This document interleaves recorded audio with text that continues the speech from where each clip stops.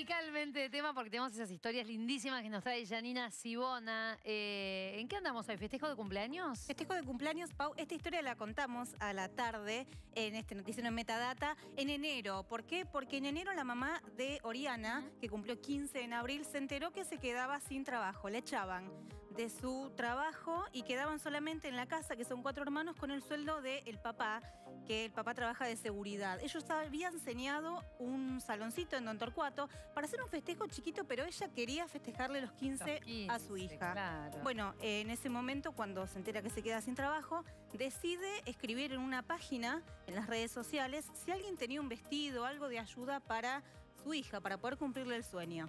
Bueno, el sueño fue increíble, creció muchísimo. Y es más, gracias al sueño de Oriana, desde enero hasta este sábado, que fue el cumpleaños, se festejaron 30 cumpleaños más de 15 de otras chicas con esas cosas que se juntaron y la solidaridad de la gente. Estuvimos, que esto llegó a Tener la Gente, estuvimos con Marcela Davín de Tener la Gente en la casa, en Don Torcuato, estando en la previa y después tenemos imágenes de lo que fue este sueño solidario, este cumpleaños de 15 soñado de Oriana. A principio de año, eh, por medio de TN y la gente, eh, nos hicimos conocidas Oriana y yo. Eh, mi hija cumplió el primero de abril sus 15 años.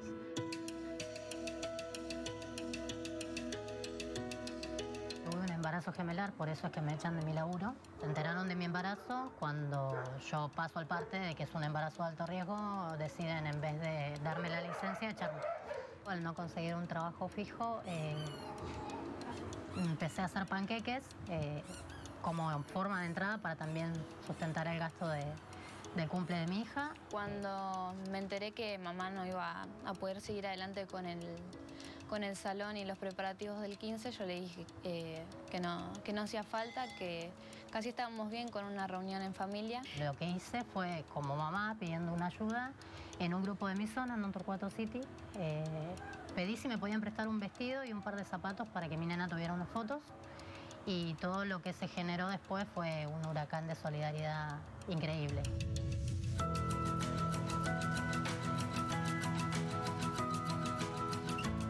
Hoy 4 de mayo, eh, Oriana va a tener su fiesta de 15, gracias a la solidaridad de la gente, gracias a la gente de TN, que fue quien se puso puso el pecho al, caso, se comunicaron, vinieron a hacernos las notas. Me decían, puede ser que te vi en la tele con tu mamá, mucha suerte y espero estar ahí y así. Sé que ahora en un rato ya los voy a estar viendo a todos, que también eh, mandaron su fuerza, su, su alegría y como mamá no, nunca me hicieron perder la fe de que esto iba a salir adelante.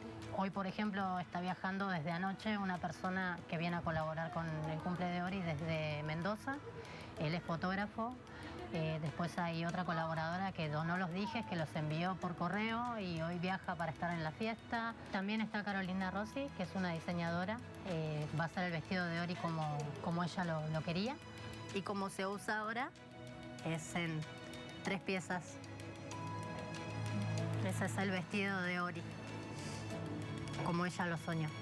Hay muchísima, muchísima gente que no podría nombrarlas porque son millones de personas que han puesto sus granitos de arena, eh, ya sea con un souvenir, con la torta, eh, con gaseosas, hasta con su físico, porque muchos han ofrecido como mozos para el evento, así que no me alcanzaría el día, sinceramente, para, darle las gracias a toda la gente que está haciendo que el sueño de Oriana hoy sea posible. Primero decirle que gracias, que la amo con todo mi corazón, que es mi orgullo, mi vida, es todo.